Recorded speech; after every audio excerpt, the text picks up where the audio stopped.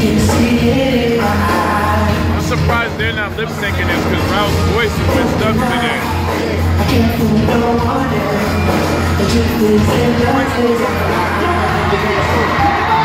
I